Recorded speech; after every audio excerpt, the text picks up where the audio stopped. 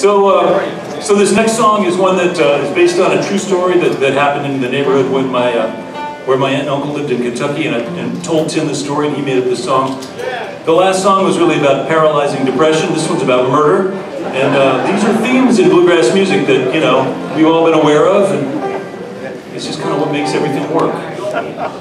So we're going to keep the tradition going. The best compliment, of course, you could get if uh, if you're a songwriter of bluegrass music uh, actually happened to us, which is that Ralph Stanley recorded this song, and he called it traditional.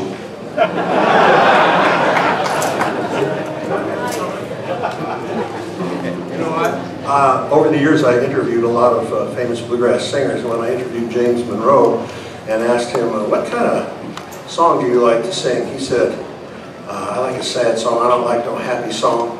Uh, what's that kind of music that Jimmy Martin does? What's that kind of song? Novelty? Yeah, I hate that.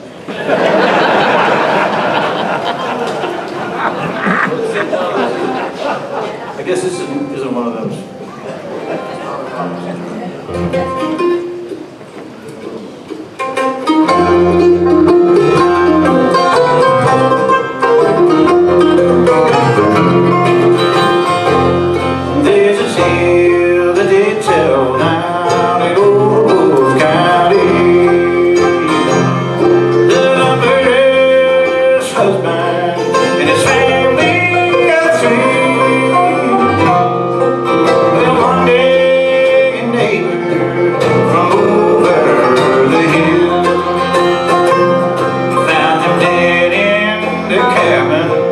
Cabin. It was